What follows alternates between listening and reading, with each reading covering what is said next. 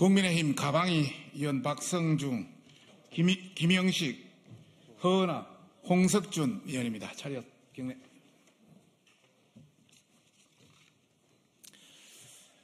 민주당의 극좌 독설과 좌파 정치꾼, 최민희 방통위원 지명은 절대 불가하고 스스로 살퇴, 사퇴할 것을 촉구합니다. 민주당은 방통위원 자격이 없는 최민희 전 위원을 독단적으로 본회의에 부의해 의결했습니다.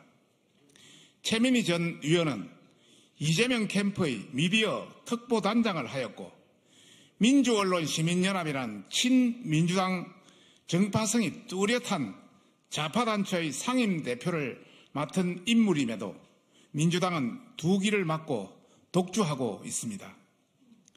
TV조선 재승인 심사 조작 혐의를 받는 한상혁 위원장 또한 민주언론시민연합의 공동대표 출신으로 최민희 후보가 방통위원이 된다면 방통위는 민원령이 장악, 민원령의 장악 일색이 될 것은 불을 보듯 뻔합니다.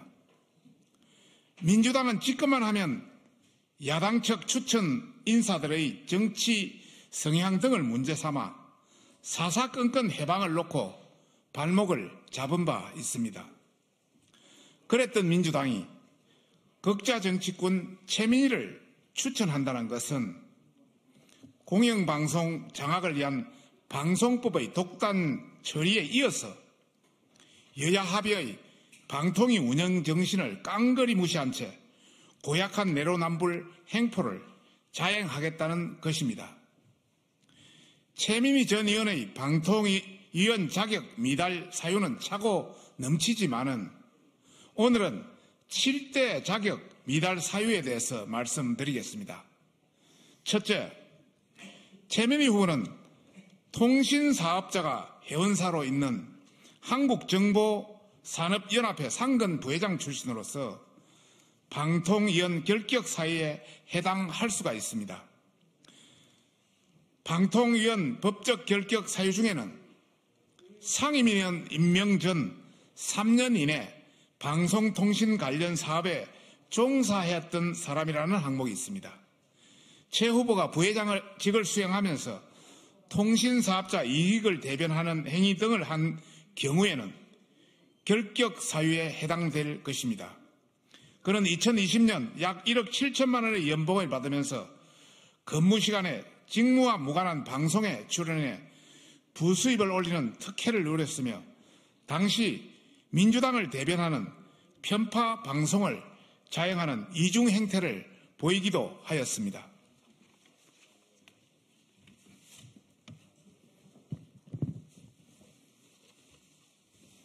둘째, 최민희 후보는 공직선거법 위반으로 벌금 150만 원의 유죄를 선고받았다. 민주당 남양주 시장 예비 후보로 등록을 했으나 지난 20대 총선에서 남경필 당시 경기도지사에게 경기 북부 테크노밸리 유치를 약속받았다고 허위 사실을 유포한 것이다. 불공정 편파 방송을 건절해야 할 방통위 상임위원이 허위 사실 유포로 처벌받은 전력이 있으므로 공직 후보자로서의 자격이 없는 것입니다.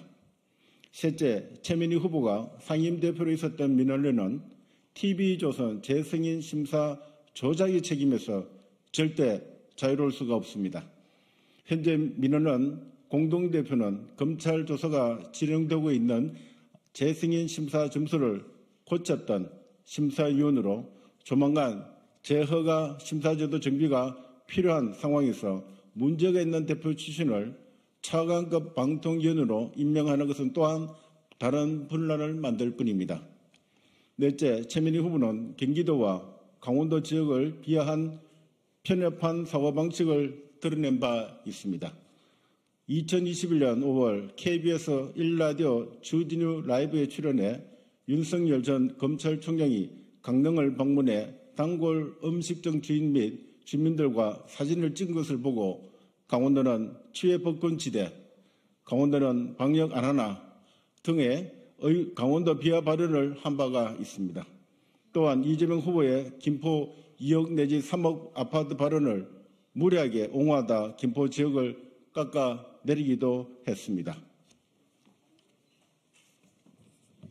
다섯째, 최민희 후보는 입만 열면 망언을 쏟아내는 좌파 망언 제조기입니다.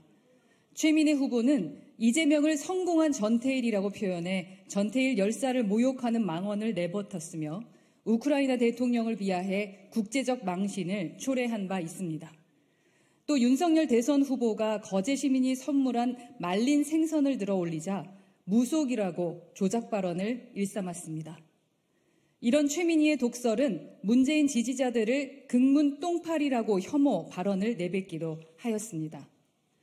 여섯째, 최민희 후보는 단순 민주당 비례의원 출신이라, 출신이라 문제가 되는 것이 아닌 민원년 상임대표와 민주당 비례의원 시절 방송사를 압박, 제작 편성에 개입하고 나아가 방심위를 겁박하여 심의 편파를 조장했을 뿐만 아니라 MBC 대외비 자료를 언론노조 MBC 본부로부터 받아 불법으로 공개한 혐의도 있습니다. 일곱 번째, 최민희 후보는 민주당이 여당 의원 추천 몫을 도둑질한 것이므로 애초부터 자격이 없습니다. 현행 방통위 설치법은 위원 5인 중 위원장을 포함한 2인은 대통령이 지명하고 여당목 1인, 야당목 2인은 국회의 추천을 받아 대통령이 임명합니다. 위원회 임기는 각각 다르므로 여당 3명, 야당 2명으로 추천 비율을 유지하라는 조항입니다.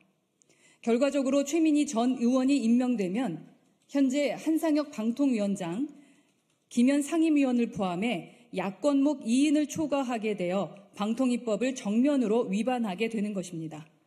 민주당은 이를 감추기 위해 온갖 선전선동을 자행하면서도 자격도 없는 최민희 후보를 임명해달라고 목리를 부리고 있습니다.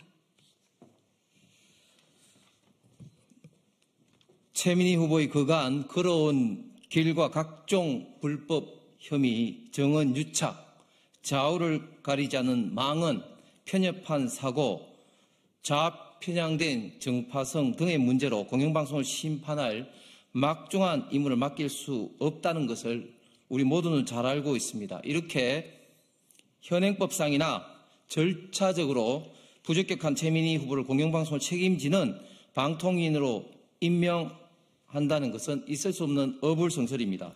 방통위법 취지에 부합하지 않는 부적절한 인사를 추천한 민주당도 문제이지만 문제가 있는 최민희 후보를 민주당이 임명권을 가지고 있는 대통령에게 지명해 달라고 하는 것은 검도를 벗어난 거대 야능의 생떼에 불과합니다. 민주당과 최민희 후보에게 경고합니다. 더 이상 방통위원 자리에 연연하지 말고 스스로 사퇴할 것을 촉구하는 바이며 국민의힘 과방위원 일동은 대통령에게 최민희 후보의 임명 거부 행사를 건의할 것임, 건의할 것임을 불명히 밝히는 바입니다. 2023년 4월 10일 국회 과학기술정보방송통신위의 국민의힘 일동 간사 박성중, 권성동, 김영식, 윤두현, 하영재, 홍석준, 허나 의원입니다. 차렷 경례.